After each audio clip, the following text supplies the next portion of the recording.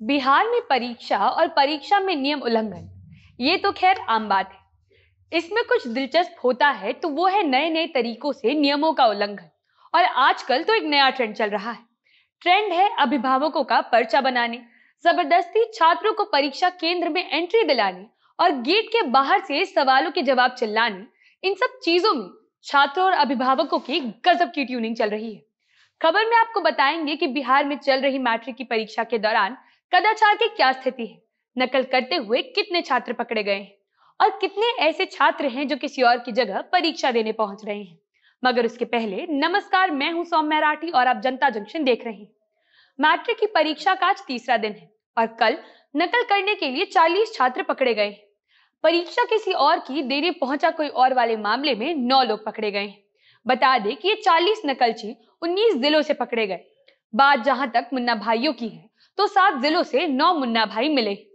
बता दें कि सबसे ज़्यादा नकलची सारण ज़िले से पकड़े गए। उनकी संख्या आठ है।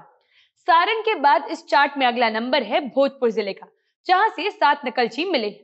बात अगर रोहतास ज़िले की की जाए तो वहाँ से नकल करने के लिए पाँच छात्र पकड़े गए। बाकी किस ज़िले से कितने नकलची पकड़े गए हैं, उसका पूरा चार्ट अभी आपकी स्क्रीन पर दिखा दिया जाएगा। आपको याद दिला दे कि बिहार बोर्ड की इंटर की परीक्षा के दौरान भी नकलची लगातार पकड़े जा रहे थे। और मुन्ना भाइयों को परीक्षा के आखिरी दिन तक हिरासत में लिया गया था। शिक्षा विभाग के मुताबिक उनकी तैयारियाँ पूरी थी, मगर फिर भी ऐसे मामले बारहवीं की परीक्षा के दौरान लगातार सामने आते रहे और अब मैट्रिक की परीक्षा के दौरान भी बिल्कुल वही हाल है। बता दें कि मैट्रिक की परीक्षा के पहले दिन से ही सेंटर पर बैठकर पर्ची बनाने की तस्वीरें सोशल मीडिया पर खूब वायरल हुई थी।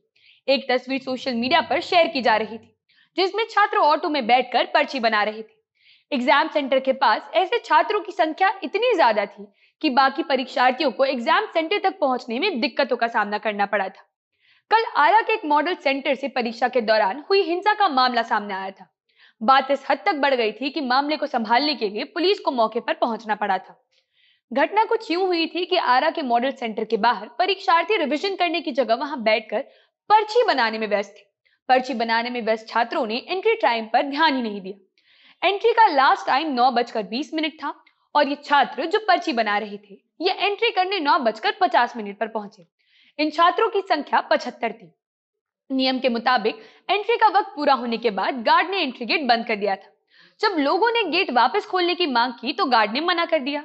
गार्ड को इस ना के लिए लोगों के विरोध का सामना करना पड़ा। लोगों ने पहले तो गेट खुलवाने के लिए चप्पल और जूते फेंके, मगर जब बात उससे भी नहीं बनी तो वहाँ मौजूद अभिभावक गार्ड के साथ हाथापाई पर उतर गए। लोगों ने गार्ड को बुरे तरीके से पीटा, पत्थर भी बरसाए गए और फिर ज़ोर ज़बरदस्ती से बाहर सभी छात्रों को सेंटर में प्रवेश मिला। मामले की सूचना मिलते ही स्थानीय पुलिस वहाँ पहुँच गई। परीक्षा के दौरान नकलचियों का पकड़ा जाना, फर्जी परीक्षार्थियों का मिलना और स्कूल गार्ड के साथ मारपीट की जाना और बच्चों में इतनी हिम्मत होना कि वो परीक्षा केंद्र के बाहर ही पर्चियाँ तैयार करें। ये कुछ और नहीं, बल्कि शिक्षा विभाग की विफलता को दिखाता है। शिक्षा विभाग की शक्ति दिखाने की बातें बस खबरें और कागजों तक ही रह जाती है। और असलियत में बस बिहार की शिक्षा व्यवस्था की बदनामी होती रहती है। ऐसे में शिक्षा विभाग को खोखले दावे करने की नहीं, बल्कि असलियत में परीक्षा का संचालन ठीक तरीके से करवाने की ज़रूरत है। इस खबर में इतना ही। अगर आप हमें फेसबुक पर देख रहे हैं तो जनता जंक्शन के पेज को लाइक और शेयर ज़रूर करें। अगर आप अभी यूट्यूब पर देख रहे हैं तो चैनल को सब्सक्राइब करें। आप हमारी टीम से इंस्टाग्राम और ट्विटर पर भी जुड़ सकते हैं। आपकी स्क्रीन पर इस वक्त जो जानकारी दिखाई दे रही है आप उसकी मदद से डोनेशन के रूप में हम तक अपना सहयोग पहुँचा सकते हैं। इस वीडियो को अंत तक देखने के लिए धन्यवाद। मैं हूँ सौम्या राठी, कैमरे के पीछे हैं वरुण झा और आप देख रहे हैं जनता जन